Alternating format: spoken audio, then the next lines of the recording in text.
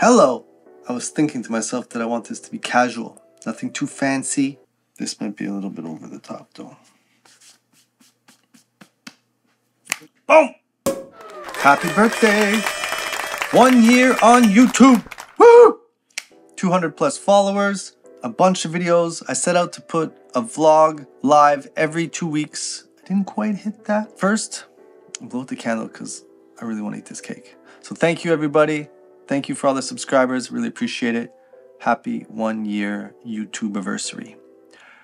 Make a wish. Make a wish. Make a wish. Sidebar. I ate that whole mousse cake in less than a minute. These beautiful things. Oh, that's really good. Got. Good morning, friends. Our morning mm, Lion's Mane Espresso, SX Espresso.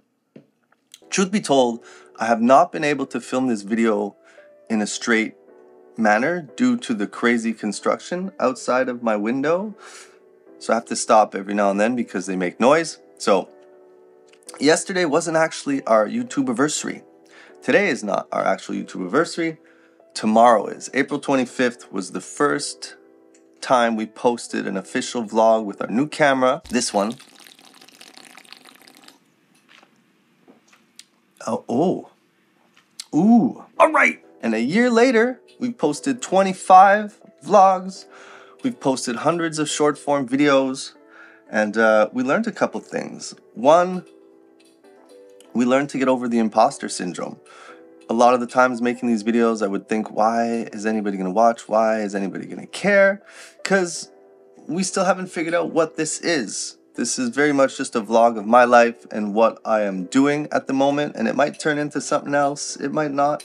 Who knows? I'm still trying to develop my brand, my skills, my talking skills, storytelling skills. So, a year in, I'm very glad that I pushed through that put out as many videos as I did. And now for the next year, we're going to keep going, but I'm not going to put as many challenges on myself because I did feel as though there was pressure.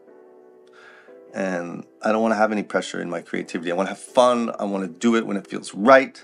So this next year, I'm not going to commit to a video every two weeks, every week.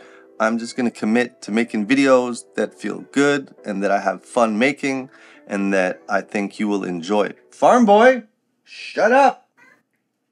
The amount of takes I have to retake because of these cats. We hate your mousse cake. We hate your mousse cake. Discipline. It's not always that easy to just keep coming back and being consistent and making videos when maybe you're not inspired or you're not in the mood or nothing's really happened to merit a video, but you still got to try to do it anyways. I learned how to fight through that. I learned that that's not always easy. So shout out to all of you creators that are posting a video every day. That's insane to me.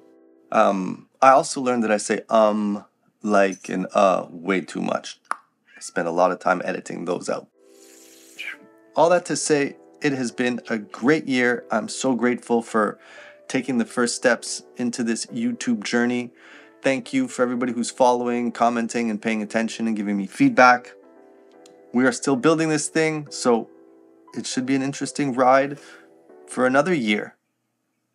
We'll see you at birthday two. Thank you. Have a great day. All the best, all the love, all the things.